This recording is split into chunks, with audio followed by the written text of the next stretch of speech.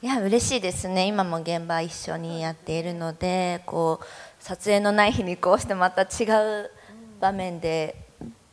やっているのがなんか不思議な。なんか変な感じなんですよね。またまた会いましたねという感じで、はい、中学生時代チョコをもらったことがなくてですね怖がられてたんですけどだからその自分のファンの方にチョコをもらえるという機会はありがたいことにあるんですがなかなかこう撮影とバレンタインがかぶるっていうこともなかなかないのでやっぱあの横にいらっしゃるすずさんからいただけたら嬉しいですよねそれは。多分ドンドマンドンピシャで撮影かぶってるんで僕はちょっとまあ期待はしてるんですけども一世としては、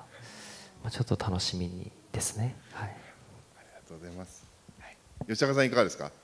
本当ごめんなさいね番宣みたいでねこの場を借りて。この並びはしょうがないですよね。そうしょうがないけどチョコあげようかなっていう気にもなりました。なんですけど。そうですね。現場にチョコ差し入れっていうのもありますし私小学校の時にチョコレートを好きな人にあげようと思ったんですけどもじもじしてあげられなくってそれをそのままお父さんにあげました お前これ渡せんかったんやって言われたんですけど。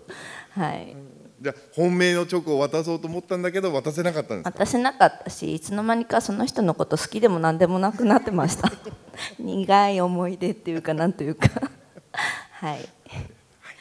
今日も皆さん思ったと思うんですがあの場をパッと明るくさせる方です。今日のは不本意よ やっぱアクシデントも込みでやっぱり人柄ですから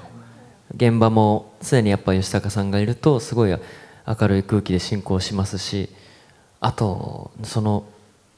なんだろう誰にでもすごいフラットに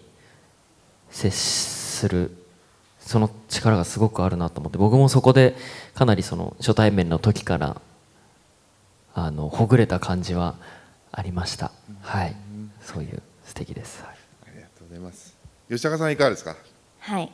あすごく優しく見守ってくれるなって思っていて今日もあの皆さんも感じたと思いますがそのさしさ 支えてくれる力がすごくあって本当にあ今日一緒でよかったなって心から感じました。ありがとうございます。